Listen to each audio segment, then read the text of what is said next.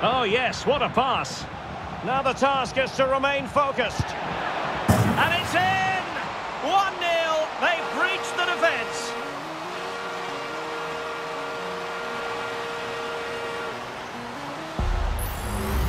Well, here we can see it again, and it starts with the ball over the top, perfectly weighted, and then the shot is emphatic. He strikes it with such power, the keeper has no time.